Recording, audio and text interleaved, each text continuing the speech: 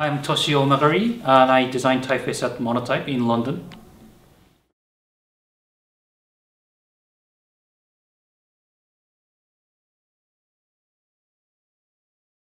I don't know if those uh, visual language needs to be localized perfectly. Uh, for example, my Tibetan isn't really sans serif, but that's what they're happy with.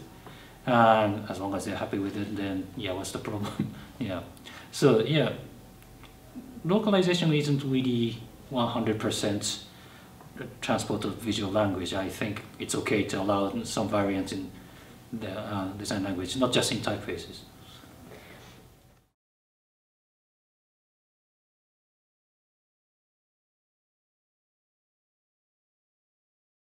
Uh, for historical typefaces, it's obviously all we have is historical materials, but for other cases, I yeah, sometimes see native uh, users of scripts and uh, collect handwritings and by writing materials, well, if the script is in current use, I would just collect as much as uh, as much currently uh, available materials as possible.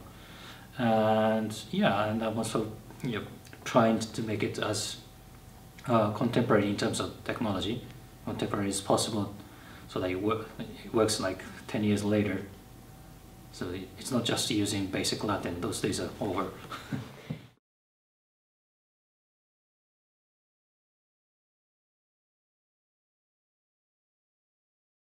um, well, to some extent, yeah, the, the, the most uh, font formats or specs are based around Latin. Uh, and there are lots of stuff to do in uh, non-Latin. For example, in Arabic, there are lots of words that goes this way. You know, that's what you call, uh, Tom Meadow calls cascading.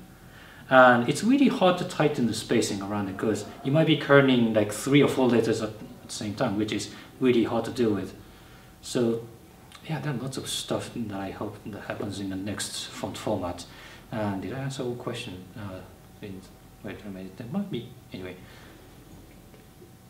Yeah, it sounds like there was another question, but I don't remember. That was about what you would. Oh, smart components. Um, yeah, uh, is it is there enough support on a technical basis? Uh, yeah, I mean the developers uh, of Glyphs application is really, uh, uh yeah, very much into non-Latin, and not Glyphs is really the best non-Latin font design application.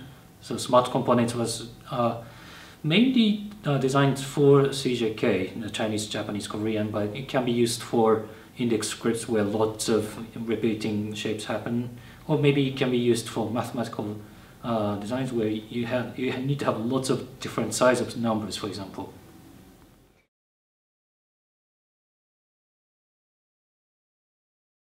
Well, non-Latin, I don't think, uh, I don't see any bad, how can I say, well, implication in the word non-Latin. It's just specific. It's just not Latin.